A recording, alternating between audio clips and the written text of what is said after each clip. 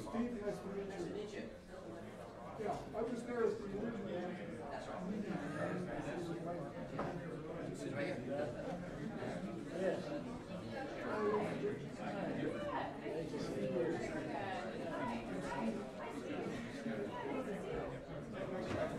Well. Mediation is good. We want to get out of here right now. Get out of the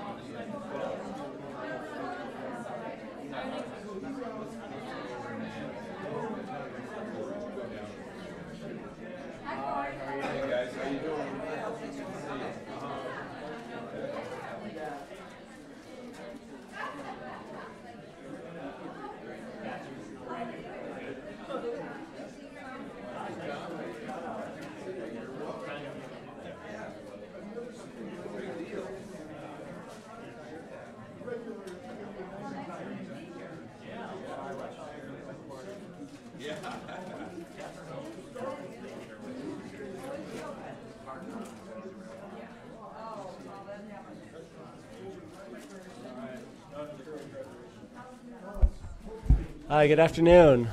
Let me try that again. Good afternoon. Uh, my name is Corey Cook. I'm the Dean of the School of Public Service here at Boise State University. Uh, it's my great honor and pleasure to welcome you to our inaugural Frank Church Lecture. Uh, we have, for the first time at Boise State, an endowed chair in the social sciences. A lot of people, probably, I mean, literally hundreds of people, work to make that happen in establishing the Frank and Bethine Church Chair in Public Affairs. Uh, we're joined today by our first chairholder, Steve Feldstein. Uh, Steve joined us at Boise State this fall from the United States Department of State.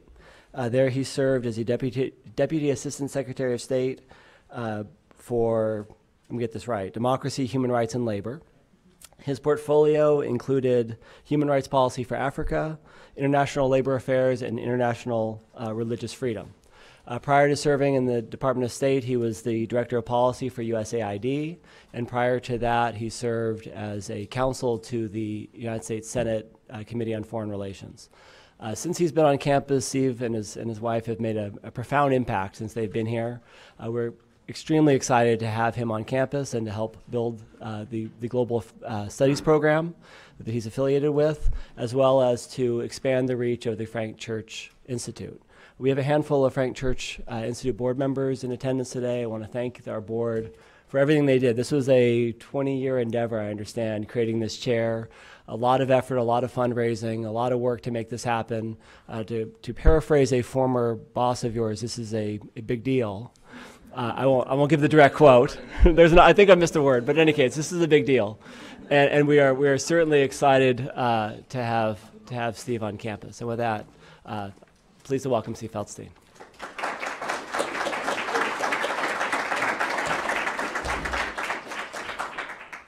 Thank you. I'm, I'm really happy to be here. And, and um, also, I know that my former title at the State Department can be a little tricky to say. Uh, a few times when I was doing diplomacy in Africa, people would introduce me as the, you know, Mr. Honorable Secretary of State Stephen Feldstein. I say, wait a second, that's not really what I, it's a little bit higher than my rank, but, you know, sometimes you have to go with these things. You don't want to embarrass your hosts. Um, anyway, I'm, I'm, really happy to be here. Uh, thank you for coming. Uh, I'm honored to deliver a lecture on behalf of the Frank Church Institute. Uh, and as you know, Eliz Elizabeth and I uh, recently moved to Boise. Uh, we've moved here in July from Washington, D.C., with our 15 month old son, uh, and we've already experienced an exceedingly warm welcome. we started to get to know the community, and we've had the opportunity to travel around the state to Ketchum and Sun Valley, McCall, Stanley, and the Sawtooths, and of course, the Bethine and Frank Church scenic overlook. Uh, Idaho is stunning. We feel very lucky to live in such a magnificent state. Uh, today, I want to talk about public leadership uh, in a time of great turbulence and uncertainty. There have been other moments in our nation's history when we have grappled with large and difficult questions about the future. But I think what makes this moment especially unique uh, is that events are moving more quickly in a more disorienting fashion than we've seen before. As I was looking through the Frank Church archives, I came across a joke he occasionally told. Quote, there's a story of an airline pilot who announced to his passengers that he had two pieces of news for them, one bad and the other good. The bad news, he said, is that we are lost. The good news is that we are traveling at a record breaking rate of speed. this feels appropriate for our time. Uh, for those who have a college education and live, in, and live in a city, life is pretty good. Innovation is moving at a rapid pace, Self-driving cars are around the corner. Algorithms can predict when a customer is ready to buy a new product, when a jet engine needs servicing, or if a person may be at, may be at risk for disease. Unemployment is low, housing prices have recovered, median income is rising, and health outcomes are improving. On the other hand, in the face of rapid and overwhelming economic, social, and technological change, cultural retrenchment is, is also taking hold. Blue collar work is disappearing. A high school education gets you very little, beyond a service industry job. Identity politics and polarization are growing. Many communities, especially those in more isolated and rural areas, are fearful and mistrusting of the future. This spring and summer, we witnessed neo Nazis and white supremacists marching by torchlight through southern college towns. We've, been, we've seen skirmishes break out across the country, from Berkeley to Boston. Uh, we've watched right wing militia members square off against black bloc anarchists. But this turbulence is not limited to political volatility. Our environment is changing in alarming and disturbing ways as well. Take this past summer. I remember waking up in June to the following headline quote, An iceberg the size of Delaware just broke away from Antarctica. The warnings are coming at a dizzying pace. Permafrost in Alaska that is thawing, fires burning across Greenland at a rate unmatched in 10,000 years. Here in Idaho, we're living with our own version of climate change. July was the second hottest summer on record, with 32 consecutive days above 90 degrees. And just as the heat started to ease, we confronted an, un- an unprecedented fire season that rained ash on Portland and brought purple air quality warnings to the Treasure Valley. Every five years, the National Intelligence Council comes out with a strategic futures report that looks 20 years ahead. The title of the most recent report is The Paradox of Progress. It notes how fragile our achievements are, that our progress has also spawned major shocks the Arab Spring, 2008 global financial crisis, the resurgence of populism. While humans are more interconnected, empowered, and prosperous than ever before, glaring differences over ideas and identity are increasing, and the human impact on the planet is catching up to us. So, what does this portend for the United States? The subject I want to address today is U.S. leadership. It's a topic that I've given a lot of thought to, especially since I left public service in January of this year. I'm concerned that we are facing a vacuum in leadership at precisely the moment that we need it the most. Those who are in charge, starting with President Donald Trump, are deliberately steering the country in a reckless and dangerous manner. We are actively embracing destructive policies that are hemorrhaging our future. In a speech Frank Church, Frank Church gave in Sun Valley in 1972, he decried too many status quo politicians driving right down the middle of the road. He lambasted the establishment for being unwilling to deal with the real problems in America the denial of equal treatment on account of race and sex, a pointless and prideful war, economic inequality, and little progress cleaning up the environment and dealing with pollution. The ruptures and divisions Church identified in 1972 clearly resonate today. And I would like to, to lay out three challenges that require exceptional leadership, if not from within our government, then from a broader citizenry. Uh, first, the erosion of public trust in U.S. democracy. Second, the onset of rapid environmental disruption brought on by climate change. Third, the startling diminish- diminishment of U.S. standing in the world which puts our interests and national security at risk. First, the erosion of public trust in democracy. Democracy in the U.S. is under duress, and the data is troubling. The Pew Foundation has conducted trust in government surveys since 1958.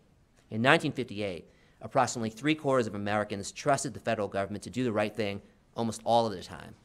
Starting in the 1960s, that trust in government started to erode. Since 2007, the share of Americans who say they can trust the government has not once surpassed 30%. The most recent results from April of this year show that confidence in the government stands at 20%, near a histor- historic low. The alienation of younger generations is not a new phenomenon. Uh, at the height of the uproar over the Vietnam War, Church observed, quote, we are left confronted with the indisputable fact that a substantial proportion of our college students are estranged. They portray a poignant, visceral sense of alienation towards the establishment by which they mean all authority that stands for or somehow represents the government. But this moment feels different. For one, we are not involved in a conflict like Vietnam, where the government drafted thousands of unwilling young Americans to fight in a war they didn't believe in. The prevailing sentiment among younger generations today seems to skew more towards distrust and cynicism rather than outrage. Younger generations decreasingly believe that the government and its institutions are working in their best interests, and they are opting out. So, why have our citizens lost confidence in democracy? Experts have several theories. One line of argument contends that the public has become disillusioned by the vast sums of money influencing politics, and they have a point. The direct political spending at the federal level represented at a bare min- minimum $16 billion during the last most recent election cycle. About 6.4 billion was spent on the elections themselves. Another 6.4 uh, billion went towards lobbying the federal government, the remaining 3.2 billion funded partisan think tanks and advertising on political TV shows. Some contend that the economic disruption, particularly economic inequality, has undermined people's faith in democracy to solve deep-rooted problems. Changing migration patterns, shifting demographics have upended many communities, causing them to turn inward to slow the pace of change. What is undeniable is that public indices of disenchantment, including the growing popularity of anti-establishment parties, are on the rise. One alarming study found that among young Americans, the proportion who expressed approval for, a quote, army rule as opposed to democracy rose from 1 in 16 in 1995 to 1 in 6 in the most recent survey. a few years ago. As identity politics have taken root, this has led to a corresponding erosion of traditions of tolerance and diversity. The Southern Poverty Law Center called 2016 an unprecedented year for hate, and the, st- the statistics back up that assertion. The number of Muslim, anti-Muslim hate groups tripled last year from 34 to 101. The number of hate crimes against Muslims spiked 67% in that same period. Likewise, our view on imm- immigrants and refugees is also changing. Consider for a moment that over 65 million people are currently displaced uh, through war and conflict. 22.5 million of them are officially classified as refugees who are seeking safety across international borders. Over half this number are children, and this represents the highest total since World War II. Yet, we are slashing the number of admit- admitted refugees. The latest proposal from Trump would drop levels below 50,000. I don't understand this logic.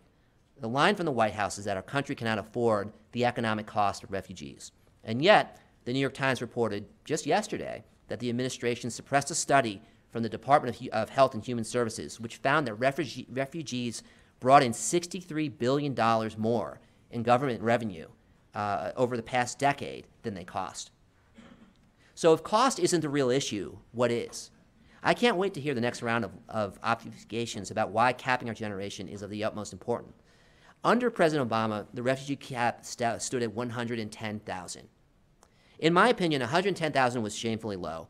We should have tripled that number, and that still would not have been enough. Countries like Germany and Sweden are shouldering much heavier burdens. In 2015 alone, Germany took in nearly 890,000 refugees. Of course, that's also not to mention the recent decision to end the Deferred Action for Childhood Arrivals program, betraying the hopes and dreams of 800,000 young people who, as President Obama described them, are here through no fault of their own, who pose no threat, who are taking away, who are not taking away anything from the rest of us. The next challenge we face relates to environmental disruption brought on by climate change. Last month, we met a group of friends in Stanley.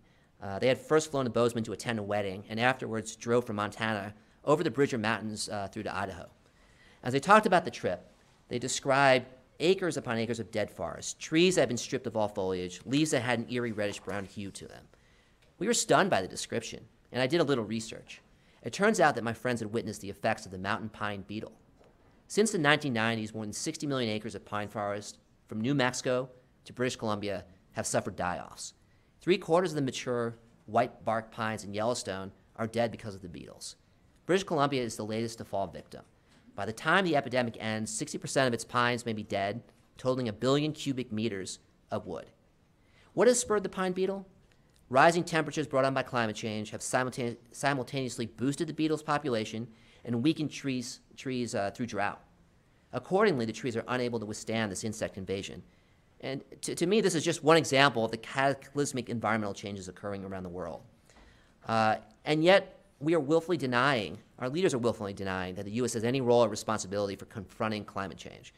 In a classic case of psychic numbing, we are burying our heads in the sand and wishing away the problem. Take our treatment of the Paris Climate Accord. The agreement itself is relatively weak. It, it is non binding, doesn't go far enough to limit rises in temperature, and leaves it to individual countries to make hard choices. It is necessary, but it is not sufficient. The right thing to do would be to endorse the accord, but commit to bolder steps. Uh, instead, we have chosen to abandon the agreement, a treaty endorsed by every country around the world, save Nicaragua and Syria, uh, at a critical juncture. Towards what end? In fact, it is, it is worth asking how climate change became a politicized issue in the first place. How did something as basic as ensuring our children have fresh air to breathe, clean water to drink, and a habitable environment to live in turn partisan?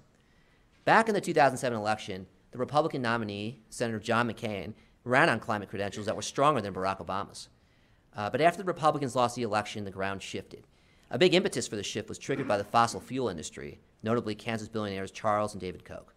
They came up with a deviously brilliant strategy with one goal in mind take the science out of climate and turn it into a political issue. They ran attack ads, they made well timed and generous campaign donations, they selectively targeted vulnerable incumbents in goal states. Their tactics succeeded, despite scientific consensus that concretely links the planet's warming to human activity, leading to extraordinary fires in western states or 500 year hurricanes uh, in places like Texas, Florida, and the Caribbean.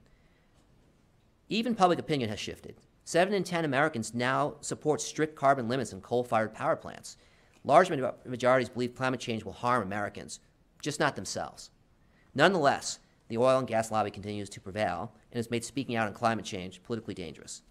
In contrast, fighting to protect millions of acres of wilderness was a major legacy for Frank Church. He led the passage of three major environmental bills the Wilderness Act of 1965, the Eastern Wilderness Act of 1974, and the Endangered American Wilderness Act of 1978. And doubtless some of the folks in the room here uh, were actively working on that on behalf of Frank Church. Working hand in hand with another Idaho icon, the late Governor Cecil Andrus, they successfully set aside millions of acres of, uh, of protected land in central Idaho. I think this quote from Frank Church about the importance of preserving the wilderness is as relevant today as it was in 1977. Quote, though we tend to feel that we are presently the owners of this country, we are not in any true philosophical sense. We are the trustees of this country for a little time only. I never knew a man who took a bedroll onto an Idaho mountainside and slept there under a star studded summer sky who felt self important the next morning. Unless we preserve some opportunity for future generations to have the same experience, we shall have dishonored our trust to posterity. The third issue I'd like to discuss is the decreasing stature and influence of the U.S. on the world stage. So just yesterday, Trump took the podium at the UN and he promised a few things. He promised to totally destroy North Korea, crush loser terrorists, and to cry that major parts of the world are going to hell. I actually went through the transcript to specifically look through uh, some of the terminology. Never in my lifetime did I expect to hear the President of the United States utter such language in a formal setting in front of world leaders. The United States has traditionally stood for something greater than merely, preser- merely preserving power or pursuing economic interests. Our founding principles that citizens have the right to express themselves, associate freely, worship as they choose, and participate in their political systems have inspired people globally. In fact, advancing democracy and protecting human rights are at the heart of American soft power. So when Joe Nye coined the term soft power in 1990, he observed if a state can make its power seem legitimate in the eyes of others, it will encounter less resistance to its wishes. In other words, protecting human rights and advancing democracy are not only moral imperatives, uh, they are key planks of U.S. power and legitimacy. These values provide Washington with the credibility to persuade other countries to follow its lead and conform to our interests without resorting to force. Frank Church recognized this principle as well, saying, The greatest danger to our democracy, I dare say, is not that the communists will destroy it, but that we will betray it by the very means chosen to defend it. Foreign policy is not and cannot be permitted to become an end in itself. It is rather a means towards an end, which in our case is not only, only the safety of the United States, but the preservation of her democratic values. So far, what have we seen under President Trump? First, human rights are out, authoritarians and dictators are in. Trump's first visit abroad was not to a Western liberal ally. He chose to stop in Saudi Arabia, an absolute monarchy with an appalling human rights record. The Saudis are leading a bombing campaign in Yemen that has struck hospitals and schools and killed scores of innocent civilians, potentially amounting to war crimes. He has met with Filipino President Rodrigo Duterte and offered him a White House invitation. Since Duterte assumed office, he has unleashed death squads under the guise of fighting narcotics. Thus far, over 7,000 people have been killed in his campaign. Trump has welcomed Egyptian President Abdel Fattah al Sisi to the White House. Al Sisi has authorized a brutal crackdown by his security forces involving mass incarceration, torture, enforced disappearances, and extrajudicial killings. But we are not just embracing rogues and dictators. In the fight against ISIS, we have taken military actions that are raising alarm bells. For example, civilian casualties in Syria and Iraq due to coalition airstrikes are on pace to double under Trump. Through July, U.S. bombings and airstrikes have killed over 2,200 civilians.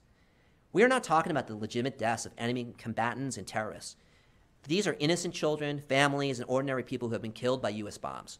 While some level uh, of civilian harm is an inevitable byproduct of war, a doubling of civilian deaths, month after month, points to a more sinister pattern.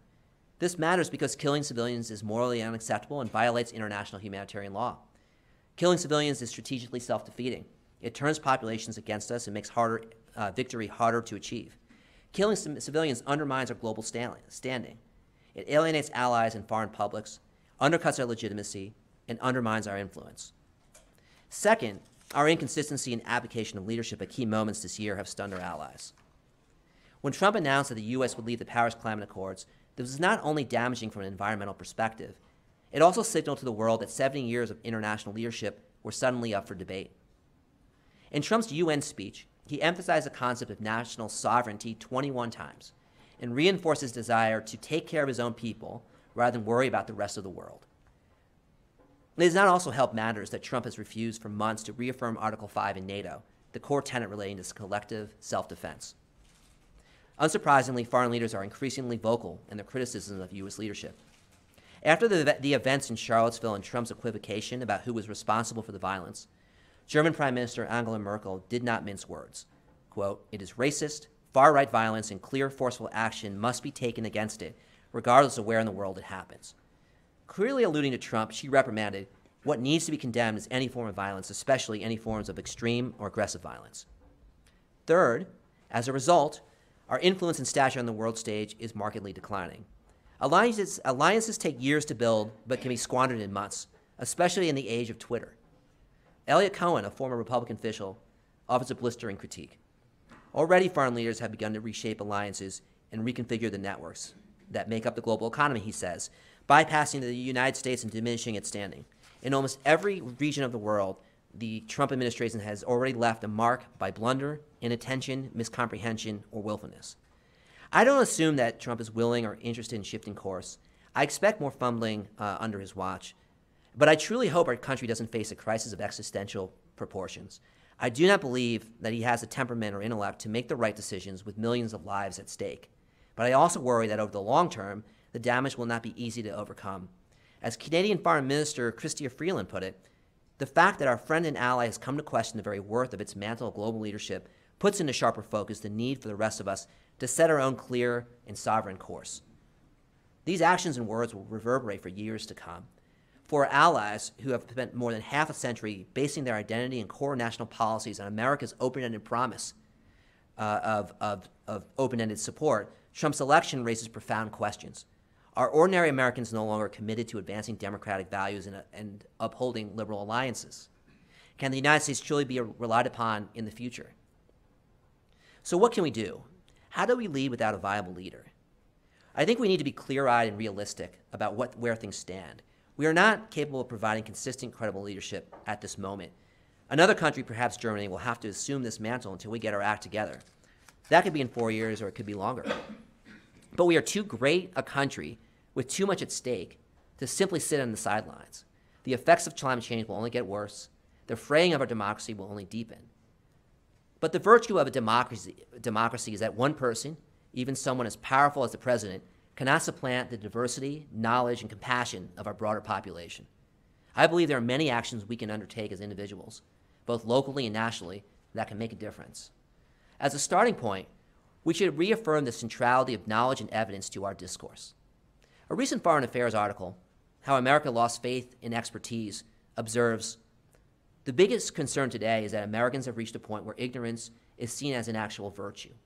To reject the advice of experts is to assert auto- autonomy, a way for Americans to demonstrate their independence from nefarious elites and insulate their increasingly fragile egos from ever being told they're wrong. This has manifested itself in countless harmful ways. The anti vaccine movement is a good case in point. Climate change denialism is another. Part of the problem is that people are less interested in evidence and more focused on rejecting vaccines or denying climate change because it expresses who they are. Daniel Patrick Moynihan's famous line, You're entitled to your own opinion, but you are not entitled to your own facts, is more important than ever in these divided times. Second, we must hold our politicians, representatives, and government agencies accountable. I'm certain you've heard this before, but it is important to emphasize our individual civic responsibility. We must remember it every day and act on it. Our Constitution provides numerous checks and balances on power. The president represents but one level of authority. There's an even greater imperative to press our congressmen and senators to be vigorous in their oversight, to push back against bad policies, and to call out the president when he says something irresponsible or does something reckless. We cannot give in to apathy and indifference, and I worry about younger generations that are moving away from public service and civic engagement. We have many problems that require urgent attention, and they will not get solved by turning inwards and hiding in smartphones and social media feeds. Citizens must get involved. Attend city council meetings, run for office, volunteer for a local refugee resettlement organization, attend a protest, attend another protest, write to your senator, go to one of their town hall meetings, and make your voice heard. Let me provide a couple concrete examples of ways you can make a difference right after you leave this lecture. I learned last week at the Idaho uh, Environmental Forum about a proposal from Canadian mining company Midas Gold to dig an open pit mine under the riverbed of the East Fork South Fork headwaters of the Salmon River. The potential effects are chilling. This small area provides the most important remaining habitat for summer Chinook salmon in the Columbia River Basin. That project, if approved, would destroy a bull trout spawning area and store toxic mine tailings in a dam right on the river. So this is where the fight begins, in our own backyard. Frank Church spent years of his life struggling to protect Idaho's wilderness. It is up to us to carry on this legacy and do the same. What can you do? Contact the Idaho Conservation League, request meetings with your local and congressional representatives, organize a petition, seek an audience with Midas Gold. Here's another example. While violence is perpetrated by extreme right wing groups is tragically on the rise, I don't believe the right answer is to fight violence with violence like Antifa activists are doing. But I firmly believe that positive action can send a strong message back to communities of hate and bigotry. To that end, you could volunteer your time in a refugee resettlement organization like the International Rescue Committee, uh, or even a local nonprofit like Welcome Housing, which provides affordable housing options for newly arrived refugees. Or you could attend next week's teach-in hosted by the Marilyn Shuler Human Rights Initiative, which is taking place September 28th at the University Library. There are many great organizations close to home that need your time, energy, ideas, and resources.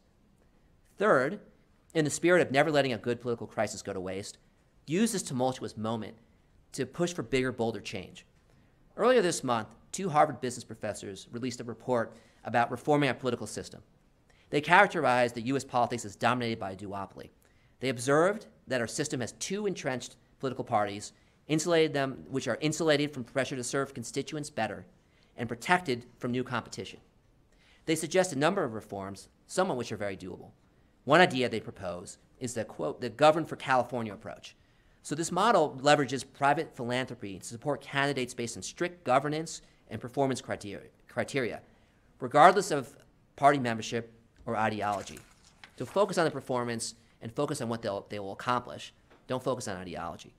Breaking the two party, party lock on power and changing incentives so that candidates are rewarded for adopting centrist positions is an idea worth exploring. In fact, consider the following why not establish an ad hoc Western political coalition comprised of Democrats and Republicans? Such a coalition could include progressive ideas from leaders like Church and Andrus, as well as conservative principles from contemporaries like John McCain and Jeff Flake. The idea behind this coalition would be to come up with common sense, practical, and sensible policies in order to solve difficult problems, break, uh, break political gridlock, and get things done. The coalitions that Frank Church built to protect public lands and pass landmark environmental legislation are instructive. As he relates, back in the 1970s, an ad hoc committee of conservationists and lumber industry representatives was convened by the American Forestry Association. Its purpose was to identify areas of agreement. The concept is a good one because it puts diverse groups to work, side by side, searching for consensus on matters they do agree upon. And in addition, by helping build a common effort to get more from our forests, it helps reduce the polarization that so often bogs us down. Drawing from my own experience in the Senate, I can attest that my colleagues on both sides genuinely wanted to enact good laws to benefit the country. I worked on countless bills with Republican colleagues from Senator Lugar's office and Senator Corker's offices. I believe the spirit of bipartisanship still exists, although it's harder to find. But if we make an explicit commitment to resuscitate this legacy, build coalitions to solve common problems, and create political inevitability on the right issues, this can lead to a lot of good. America is, is a resilient country. In the darkest moments of the 60s and 70s, Church and his cohorts feared we were on the brink of nuclear catastrophe. The specter of the Soviet Union gleamed sharply. Riots tore through the streets of our cities. It felt like the country was engaged in a never ending battle with itself. Somehow we put the pieces back together and forged ahead. Though I am clearly concerned by the myriad challenges of our time, I am also confident that we will get through this latest period of turbulence. I want to end with a final thought. I mentioned in the beginning that we have a 15 month old son, uh, baby, and being a parent makes me view the future both with hope uh, and with worry. I am distressed about the scope of the challenges that I've laid out before you, but I harbor many doubts about, about whether we are willing to make the hard choices necessary to confront our deepest divisions and tackle, tackle our gravest environmental challenges. But for my son's sake, I st- steadfastly continue to have faith and optimism in our country. We cannot wall ourselves from the world and leave problems for someone else to solve. We cannot afford to retreat into a bubble, either as Idahoans or Americans just because our relative privilege allows us to. We have a moral obligation to confront our deepest divisions and our gravest issues, both at home and abroad. Frank Church said how urgent it is for us to demonstrate to all the watching world that democracy has the will to serve vital public needs. Let that be a reminder to all of us of our obligations and duties as citizens of this great nation. Thank you, and I'd be happy to take your questions.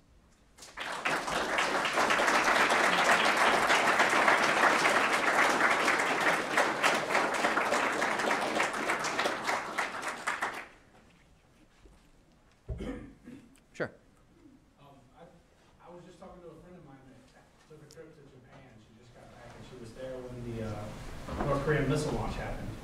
And she was telling me that, um, the Japanese were more worried about what President Trump was gonna do than what, um, the North Koreans were gonna do. Um, and they were frantically asking her what she thought as an American. What do you think that says about confidence in America, um, when it comes to things like that? Yeah, no, thank you. I, I mean, I, I think that's a, a really good point. Uh, and I think it certainly speaks to the volatility of our times and the volatility of our leadership in particular. Uh, you know, one of the points that I've emphasized a lot, and I've spoken on North Korea a few times, uh, is that now more than ever, having a consistent message uh, and one that assures our allies in particular, especially those who are in the crosshairs, is of, of the utmost importance. Uh, that there's a, a moment where uh, spouting off on Twitter is within the realms of acceptability, especially in the political context. And there are other moments where having the discipline uh, to have uh, a message, a message of reassurance is, is critical to our national security. And so I think this, this uh, uh, is a good, is very emblematic of that issue. Uh, and, and given especially what we heard from President Trump in the UN yesterday, uh, I don't know exactly what that indicates. I don't know how much of that is bluster. I, I hope that we are not closer to war in a way that it seems to indicate, that is just more of a larger, larger rhetoric as opposed to something behind it. Uh, but certainly, if I was living in Japan or Seoul uh, or Guam or somewhere else in the region, uh, I would, I would uh, have a lot of anxiety. Yeah. Do you think there's any chance Trump will finish his term? Well, that's not really for me to, to answer, and I, I think our uh, the, uh, Evan Osnos, who uh, a New Yorker writer who did a, a really good talk in front of 700 people here in Boise uh, on Friday, has an interesting article that, that explores uh, issues of impeachment or whatnot. Uh, I think a lot will will sort of depend on where the Mueller uh, investigation first and foremost goes. Um, it seems to be entering a new phase where uh, potential indictments and other uh, kind of subpoenas are, are moving uh, ahead. So, you know, I, I mean, one thing that's instructive, I think, is that in other moments of stress politically in our country, uh, thinking about Watergate and Nixon, uh, at a snapshot in time prior to when uh, uh, impeachment was threatened and before Nixon's resignation, uh, a lot of people also felt that it was unclear exactly where things would go. And I think a lot of people, including um, Woodward and Bernstein, were actually um, did, never predicted that what they had uncovered would lead to the unraveling and the, and the resignation of a president. And so we could certainly be in another moment like that, where not knowing all the facts, uh, not knowing uh, where these investigations will lead, and not knowing the depth of support necessarily among the base and among others in the Republican Party, uh, what steps uh, and what actions and decisions they'll take. I think it, I think there's a lot to be seen. So that's that's as far as I'll, I'll go uh, on on that issue. Um, but I, I think it certainly will be a lot to to look and watch for in the fall. Yvonne. Just left the State Department, perhaps you could give us a view about what the State Department's point of view is, what they're planning to do. I, I've been watching the Vietnam, Vietnam documentary, and there are so many parallels uh, to what you mentioned we're doing right now. Uh, lying, uh, customized facts, um, uh, hurting civilians, which ends up turning civilians in those countries against us, uh, supporting the wrong governments, uh, demagogic governments. What is the, does the State Department see those parallels? Uh, Are we doomed to keep repeating this? Uh, What do they see their role? What are they planning to do to avoid some of the same mistakes we made?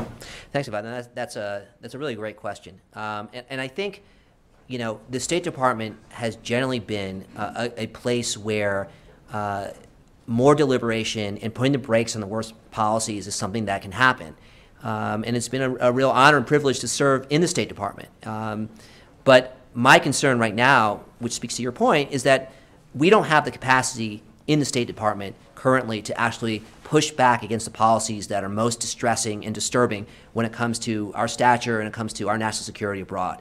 Uh, and I think that speaks to a few things. There, uh, first of all, a large amount of the policymaking is centralized and taking place in the White House, period. Uh, the State Department was slow to get off the ground. It is still slow to get off the ground. Uh, we have a relatively weak Secretary of State who, who clearly uh, has less and less of the confidence of the president, and he certainly seems to have less and less confidence in the president as well. So it kind of goes both ways. And, and so we're seeing a large number of decisions that are kind of that are either centralized in the White House, or when it comes to the military action, even something different is happening, which is the delegation down of authority. So in other words, when it comes to making decisions on airstrikes, uh, where where civilians are located, and and what uh, types of, of um, choices to make. Uh, these are decisions that are being made in the field. There's very little oversight from Washington. Um, we're seeing the military essentially run the entire apparatus. Now, I have a tremendous amount of uh, respect for the military, uh, but I think they would be the first ones to say that having robust and vigorous civilian oversight is an important part of, of the functioning and leadership of this country. And so when you leave it up to them to make decisions, but you generally use a bullying and aggressive tone when it comes to defeating your adversaries, that sends a clear message to the military about what's important and what's not. And so that's another issue uh, that's coming to the fore. I think the final thing I would mention is that I talk to colleagues at the State Department all the time. In fact, I spoke to an old colleague yesterday for over an hour. Um, and, and, you know, uh, some will say that, um, well, Secretary of State Tillerson has faced a lot of criticism, and I think a lot of it is sadly warranted. I mean, he has said that his number one priority is bringing about more efficiencies in the State Department. Now, that's fine. I think there's nothing wrong with organizational reform. Uh, but uh, for that to be your number one priority and to not think about the substantive policy goals of the country and our national security is something that worries me deeply. Not to mention the fact that we are not nominating people in the State Department to actually do the jobs that are necessary. We lack assistant secretaries, we lack ambassadors, we lack the point people to talk to other parts of the world, engage, and through diplomacy find solutions to tough problems, like North Korea, uh, like Russia, and like many other uh, issues. So I, I- think, I, I mean, I'm worried. I think there's a lot of, there aren't a lot of people home at the moment at the State Department. Uh, it's been purposely neutered in some ways by the White House, and, and what the White House hasn't done uh, through poor leadership by Tillerson, uh, that's being completed. Now I know Chase uh, had, is Chase here? Yeah, there you are. You said you had one or two questions from social media you wanted to, nothing yet. Then let's go back to the, we'll, we'll go back to the audience. Maybe someone will come. Tom. Steve, I appreciate the vigor of your remarks and the um, actionable items at the end. The startling statistic to me was that trust in government was somewhere south of thirty percent. Yeah. Is that a bottom-out figure, or, you know, what trends do you see, and what can the Yeah. public service do? Uh, well, um, so this came, comes from the Pew Pew uh, uh, polling, um, and and what's interesting, it, it has it is a figure that's kind of gone up and down at different moments um, uh, in our history. I mean, generally, there's been sort of a downward trend uh, since the since the 70s in terms of uh, different moments. Now, in during Reagan's years, there was a spike. Um, after 9/11, there was another spike, but then since then, it's sort of gone down uh, significantly. So we're seeing kind of a topsy-turvy amount based on certain political moments that we're in, but the overall uh, sort of trajectory of that number has been down. And so while uh, I think 20% is not complete rock bottom, um, it's uh, it's near, it's close to it. Um, so I, I think it's, it's worrisome. And, and, and, you know, from a, from a Frank Church Institute School of Public Service perspective, uh, I would actually like to bring out um, the folks who put together the, this poll uh, out to Boise State University uh, in the spring, um, several of whom I know very well, and, and to have them unpack the numbers and, and give us more granularity uh, about some of the different surveys that, that they're either running or are planning to run. So I think more to come on that. Surprise to me is that it's still thirty percent. Actually, it's 20% now. That's one, just Yeah. response. It's a entree, because that's about where Trump's support base is, thirty to thirty-five percent. And the concern I have is that the administration is uh, disproportionately playing to the thirty percent of the thirty-five percent that's its base, as opposed to reaching out to the 60 60 or sixty-five percent or seventy percent that they've already lost or are losing, uh, that have points of view that if embraced, considered, uh, and intelligently responded to, would be both in the national interest and in Trump's parochial political interest in terms of lobbying that thirty percent. Yeah. And I don't see that process happening. It's the first president in my lifetime uh, who has not understood that you accept the base and try to convert the rest as opposed to offend the rest and narrow the base. Mhm. I don't know how you can govern effectively if that's your philosophy. Right. No, I think it's a great point. Frankly, he's not governing effectively. Uh, if you look at legislation, uh, if you look at sort of basic uh, things uh, when it comes to uh, running uh, a government administration, running agencies, you're not seeing very much happen at all. And so that that's part of it. Although some would argue that you know the deconstruction of the the administration, of the administrative state, which was sort of Bannon, Steve Bannon's professed goal, is part of that. And so if the project is let's make government work uh, ineffectively because we don't need it to begin with, maybe that's something in a very strange, perverse way that actually uh, is being successful. But I would say actually there's uh, one point that kind of struck me is that on the one hand, we can pin a lot of the problems when it comes to division and polarization on Trump. Uh, and we can say, you know, his rhetoric in the wake of Charlottesville, uh, his alienation uh, when it comes to uh, diversity, uh, when it comes to his perspective on immigration and migration, that these are all things that he has done to exacerbate a divide or create a divide, and that he's only playing to the base.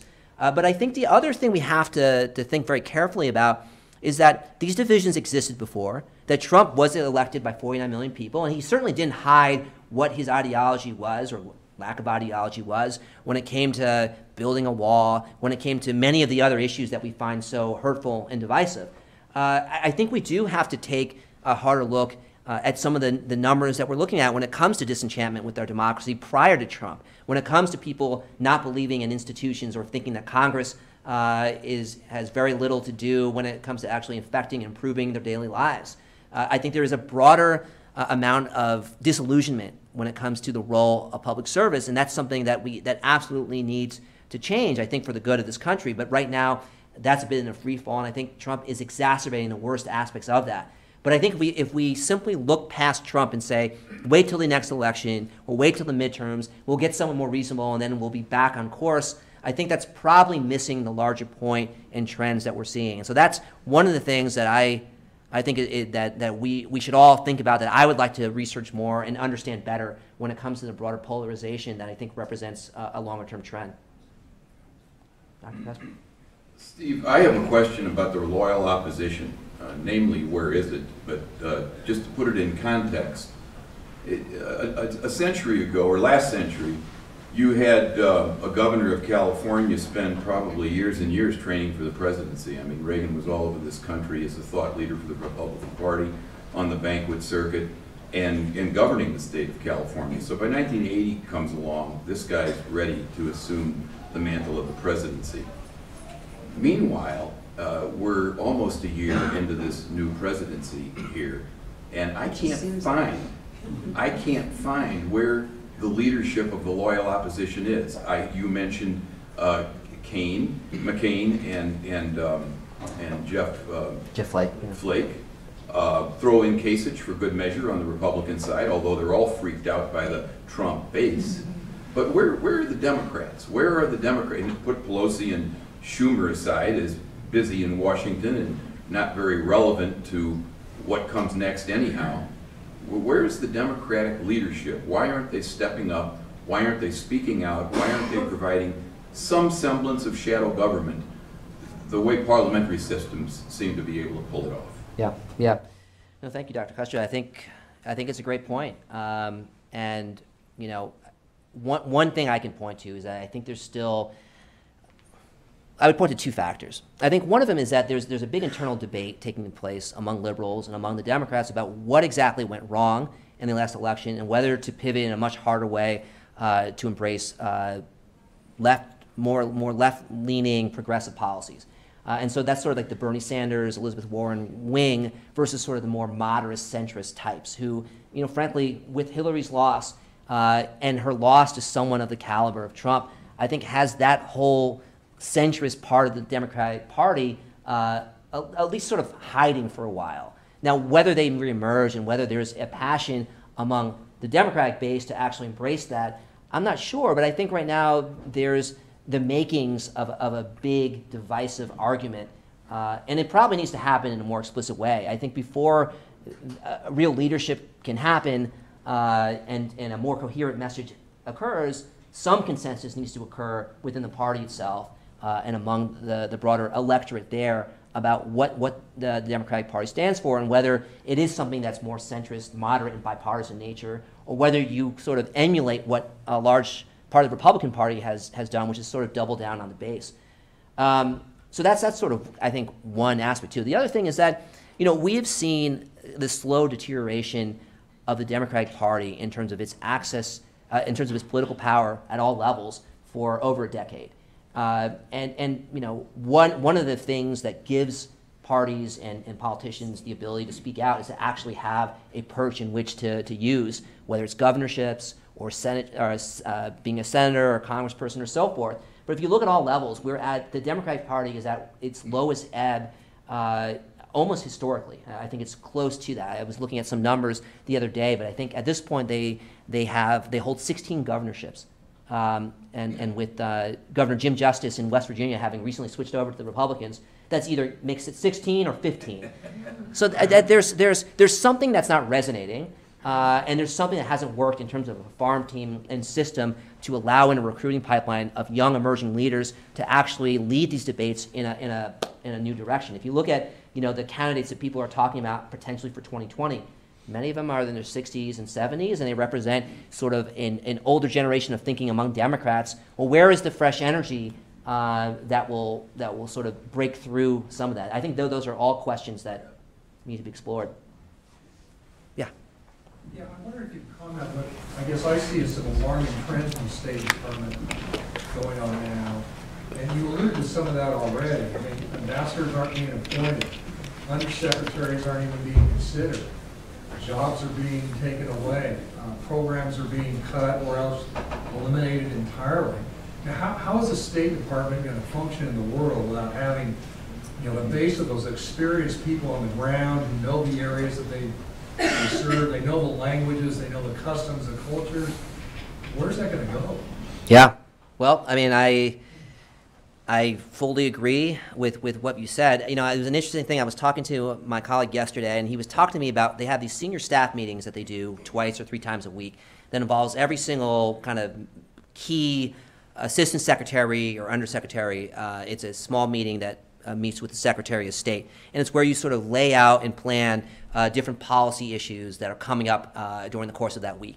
Uh, so normally there's about 40 people or so uh, um, who attend those meetings. So he, he mentioned to me, he said, you know, after January 20th, when there was a changeover, right? So some of the politicals had left at that point, including myself. Uh, you had 40 people in the room then who were sort of a lot, of, a lot of whom were either act in an acting capacity, but represented um, sort of the institutional knowledge of foreign service officers and, and so forth. Very senior, very credible people. He said the turnover since that meeting and today, when going into uh, into a senior staff meeting, so the, the, there's only about three people left of that original group, right? And this is not a political group. This is not the Democrats who were kicked out. This is post uh, January 20th. So that tells you something about institutionally what's happening to our most senior officials in the Foreign Service and Civil Service and what they're choosing to do. I think that's a gap that's going to be incredibly difficult to fill. Uh, you know, and, and on the one hand, you can make an argument uh, that having a bit of churn can be a good thing for an organization in terms of bringing to the fore new ideas and giving promotion opportunities to people. But what I'm hearing, what I'm seeing, it's not just the top people who are leaving; it's other uh, levels as well that are kind of filtering out and looking for other opportunities. And so, if you hollow out the top and you hollow out the middle, um, two things will happen. A, you'll lose your capacity, so you'll have very little, you won't be able to handle the daily functions. But B, that vacuum will be seized by some other entity, whether it's uh, DOD, whether it's the White House, uh, or whether it's just lack of uh, engagement on the diplomatic front, period. Um, so these are real concerns, and I, I think, I think, I think the current Secretary of State uh, has not done us any favors in terms of at least retaining the people who would otherwise stay, who may not be happy with the president's policies, but would serve their country and, and do so because it's the right thing to do, and it's, and it's a, a part of the oath that you swear uh, in when you become a foreign service officer. I think because of their dissatisfaction with his leadership, we're seeing an even greater amount, uh, greater exodus than we otherwise would. Uh, and I, I, I think it'll be really hard to make that up uh, in the future. So I don't have a good answer to you, but I think it's really, I think it's very, very relevant. Chase. Yeah, here's one from Twitter. A follower says, how can we get our own legislators to engage their communities better on the topics you discussed? He said, it's like pulling teeth to get them make, to make public appearances, especially Jim Risch. Well, here, here's my perspective when it comes generally uh, to the functions that our senators, representatives uh, ought to hold, uh, which is that you know they are elected uh, by people, they face elections, um, they have a responsibility to uphold the uh, the roles uh, of the office, and that if they're not uh, adhering to that, then let elections be one means of accountability. But you know, we don't have to stop and wait for an election either. Uh, I think any representative who refuses to hold town halls, who doesn't engage with the constituent population, I think there are many ways to make your voices heard. Certainly, they have offices uh, in the Senate, uh, each one of them. They're public offices, anyone can go in. So you're more than welcome to, to seek, uh, as constituents, meetings with them, either in their home district offices here, or if you happen to be going to Washington, in their Washington offices as well. You know, I saw when I worked in the Senate plenty of, of people coming in, coming out, protesting outside the Senate, uh, seeking meetings, petitioning, writing letters. Um, there's a lot of means at our disposal to hold our representatives accountable uh, for, for what they are meant to do in their jobs. And I think being creative with that and thinking about that is something that uh, we need to take put more energy into. I don't think it's good enough just to say wait for an election, but I do think elections are there for a reason as well. So I think that's something something to think about. I mean, even if you ideologically believed in the same things as one of our representatives, wouldn't you want to hear them talk and, and, and ensure that they're responding to your needs? You know, I, I, to, to me, it's just a basic function of doing your job. Yeah. I- I was in uh, Sweden uh, in the spring at a conference, and the two the panel members on one of the panels were Europeans who had worked in the U.S. for a long time, and they were talking about their concern for American democracy, the one-two phrase. And they did- said that there were three things that drove that concern. One was Citizens United, the other was gerrymandering, and the third was voter suppression. And when you look at the path the Supreme Court is on, it looks like they're headed towards enshrining those uh, concerns in constitutional rights. Uh, If they do that, it's hard to be optimistic of American democracy.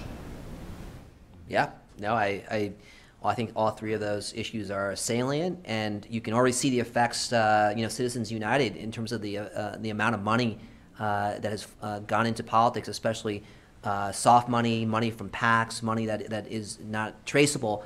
Uh, I think that's something that has had a really pernicious effect when it comes to our politics. And you know what's interesting is that some might counter and say, well, if you look at the last presidential election, the amount of money that Hillary Clinton raised versus Donald Trump was uh, exponentially higher, and so therefore that sort of obviates how much money does play a role when it comes to kind of uh, bigger level, level decisions. And I think I think that's an anomaly, and I also think that you have to think about money on many different levels in terms of many different decisions, especially when it comes to special interests.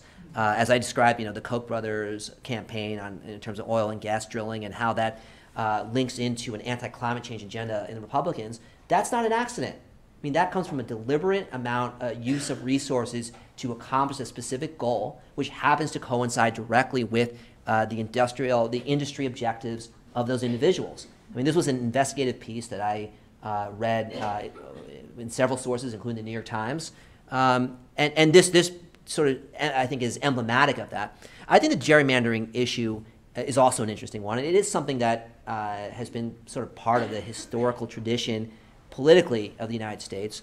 Um, but I think it's extremely concerning uh, in terms of, you know, if we actually are interested in, in seeing politically competitive districts and ones where uh, uh, you'll find uh, a moderate voice potentially winning out, it's impossible to do that with the state of our gerrymandered districts. Uh, it, it encourages polarization. It encourages uh, playing to a, a, an extreme base on both ends. And so when you elect representatives uh, who come in whose mandate from those particular voters is to be as fearful and ideological a defender as possible of those ideas, how do you then build back in that middle and get things done in a practical in a practical way? And if, and if we don't solve that issue, then we're not going to restore faith to a democracy. We're not going to uh, to demonstrate to another generation that it's worth investing their time there, and that's where I worry. So I, I think gerrymandering, if I had to pick, you know, one of those uh, issues that you you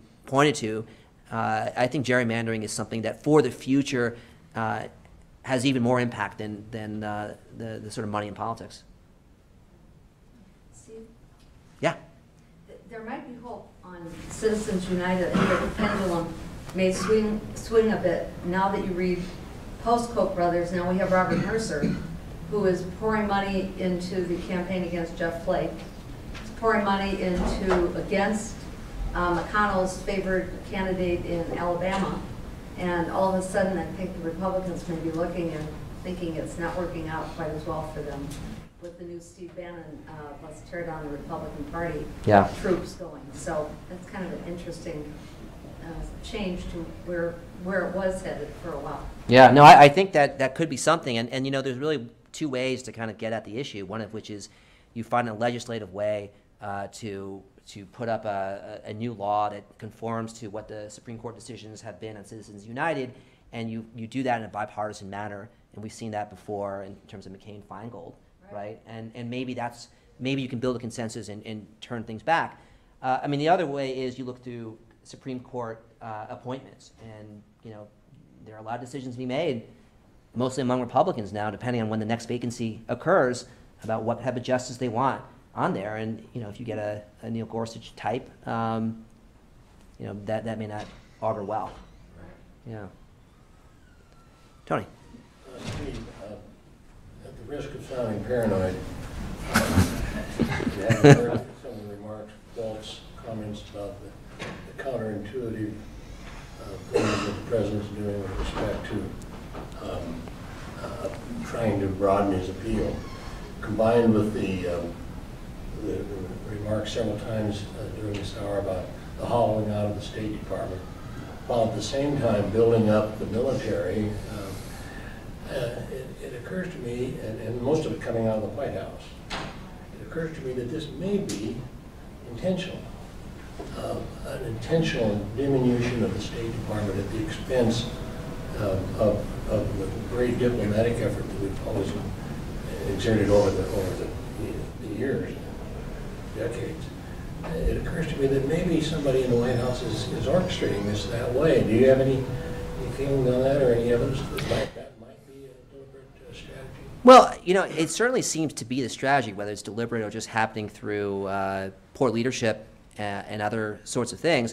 You know, there was a really good uh, interview uh, actually on, on NPR, I think yesterday, by with Eliot Cohen, who I quoted here, who I just think has come out with another article, kind of critical about sort of whether Rex Tillerson is the worst, uh, should resign or is the worst Secretary of State uh, in history. And, and one of the things that he kind of points to is just the fact that, um, you know, you are seeing kind of this, this movement where, you know, there's, there's been such an intrinsic and instinctive uh, embrace of hard power by the president, both in terms of campaign rhetoric and, and, and where he is now, uh, that there's sort of the natural flow is kind of going in that direction. And when you uh, systematically empower one uh, branch of the government uh, and provide, you know, a full amount of autonomy and actually, uh, actually, uh, you know, look at the budget, which I think is in many ways represents a real blueprint for where the government is going. And you look at kind of where the budget levels are as requested by the president for the military versus our diplomatic and foreign assistance sides. I mean, it does point to a series of priorities and choices, right? So, I mean, to me, it's, it's actually, it's, it's very explicit. Uh, it's pretty transparent in terms of where the preference is. Now, you know, I, I hope and I, and I think that in some ways uh, this president is also learning a little bit when it comes to the limits to what military power can do and the need to have some sort of consistent diplomatic effort. Um, you know, even despite the bluster that he's exhibited when it comes to North Korea, I mean, the fact of the matter is he's deeply frustrated. Uh, and I think the national security apparatus in general is deeply frustrated. There are no good military options. Any one of the potential uh, alternatives that are being considered, uh, anything from quick strike options uh, to uh, preemptive uh, bombings to decapitation, they all run with extremely high costs with the potential for millions of casualties. So ultimately, there is a diplomatic solution that needs to be found there, and on many of the other crises as well, whether it's Venezuela, which Trump also has spoken out about in the next two days. We're not going to invade Venezuela. It's not, there's not a military solution. It makes no sense at all. Um, so you're going to have to find diplomacy, even if you've sort of systematically in the first nine months uh, diminished its stature uh, in a big way. So I, I, I think I think there has to be a coming around. I just don't know exactly how that will will occur. In the back, yeah. Another cynical question. So I don't know if you saw uh, Coates, he published an essay called First. It's uh, sitting in my bag right now, and I've I need to fully read read through, but uh, I've, I've, I understand the basic argument without having read it through. so as I understand, the basic argument is actually, Trump is um, not really like a, a, a new thing. Uh, I mean, it, it strikes us all as new because he breaks so many norms and is so unusual as a leader. But on the other hand, you could argue that he got a lot of American votes. Um, and then maybe he is the, the real American character, sort of come into power. So that's racism, that's sexism, that's dominance. It's a cynical argument, right? Um, but I wonder what you make of arguments like that. That he's not, his base is not like some dark corner. They're actually central to who we are as Americans. I, I, I take him very seriously. Uh, you know, it, I think it goes back to the point that Trump is not in of himself someone who is who has personally ushered in. I think he's reflective and symptomatic of a broader set of trends that are disrupting our life, and really kind of points to. I, I think there is a retrenchment that's happening simultaneously with a vast amount of innovation uh, occurring in this country. And I think anytime you see that sort of cycle and turbulence of change, you're going to have a reaction to that that's negative in, in some respects. Uh, I think we've seen that historically in other periods as well, when sort of industrialization caught up to us, or uh, and and all of a sudden we sort of took a step backwards uh, and embraced uh, policies that were more xenophobic, restrictive, inward-looking uh, for a period of time. Um, I think a lot of people.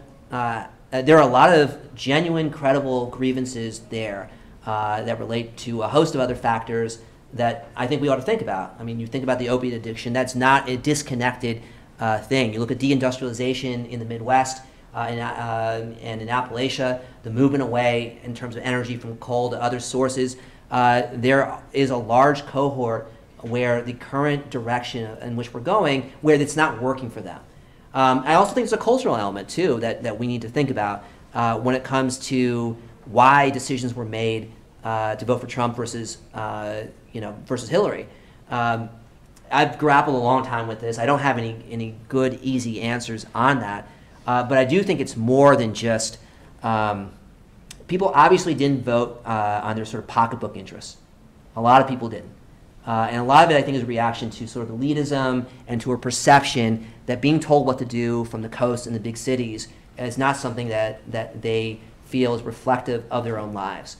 I mean, part of the reason that uh, you know I left Washington uh, and I am in a state like Idaho is that I would like to learn more and understand better where this sentiment comes from uh, and how we understand it in order to hopefully channel our country in a more positive direction, especially when it comes to the 49 million who feel that the current direction of President Obama and the other aspects to that, to, to his, uh, his tenure, were not working for them in a way that they were hoping.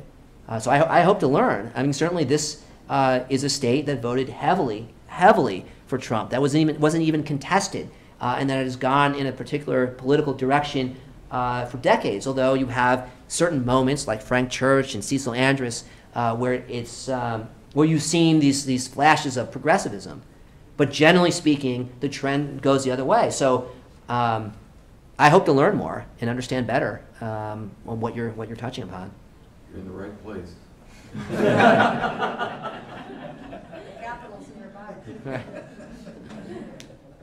Maybe yeah, one more and then we'll wrap up. Yeah. So what do you think that Trump could do domestically to increase his base, like he said he kind of needs to do? Because I think he does kind of face a dilemma, like he's doomed if he doesn't, and he's doomed if he does, with a lot of things, like when it came to working with Schumer and Nancy Pelosi on the um, Dreamer Act, or expanding the debt ceiling for the hurricane relief, like I just like, he's not getting good coverage no matter what he does. So what can he do to kind of expand? Yeah, well, you know, one of the things I think that's interesting is let's say uh, that Trump actually genuinely started to adopt uh, some bipartisan approaches. Where would his base go exactly? Uh, would it just disappear? Uh, would they suddenly think that there's another person out there that who, who would better represent uh, the interests that he's articulated? I mean, I, I, I'm not so convinced that he's one deal away, one bipartisan move away from completely uh, losing that entire cohort. Uh, I mean, I think at the same time, the, the danger for him is that he does sort of two things in which that he, he pivots to the middle, but the middle doesn't trust him, uh, or certainly a large you know, portion of independents don't. He loses the enthusiasm of the base, and those two factors kind of sink him. So that's kind of the, you know, if you were looking at it from a very sort of strictly a kind of political operative uh, perspective, that, that's where the, the difficulty lies. Uh, a normal politician uh, would try to, uh, to try to broaden out the middle, would keep the base happy on certain issues, uh, but would try to broaden out the middle and would try to combine those two to have a plurality that would lead to uh, uh, reelection. Because of the divisiveness and the unique nature of his own uh, presidency, uh, because frankly, for the, for, uh, many people have criticized and said he's the first independent American president who really isn't beholden to Republican orthodoxy uh, as much as it is something that helps uh, support and advance his self-interest. Uh, it's hard to say where that all goes, and it's hard to say exactly how you, one would chart an expansion of, of the base and a move to the middle for Trump over the next couple years. I think, uh, I think that's it. So thank you all. thank you for your time. I appreciate it.